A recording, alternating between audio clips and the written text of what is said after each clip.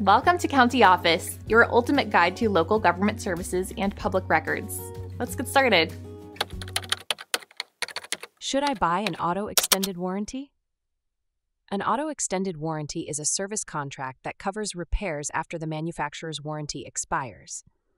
It can provide peace of mind by covering unexpected repair costs. However, it is essential to understand what is covered and what is not.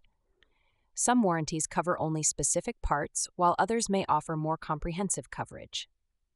Extended warranties can be purchased from the car manufacturer, dealerships, or third party providers.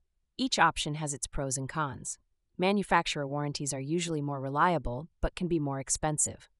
Third party warranties might offer lower prices, but may have limitations or exclusions.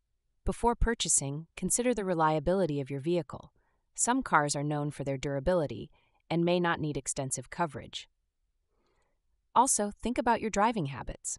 If you drive a lot, an extended warranty might be more beneficial. Evaluate the cost of the warranty versus potential repair costs. Sometimes, the cost of the warranty can be higher than the repairs you might need.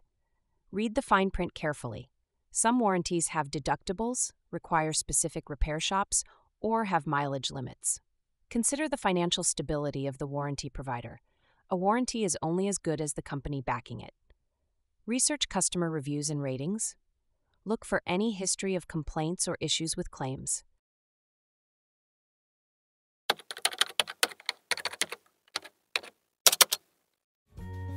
To learn more, check out these links, which you can click in the description below.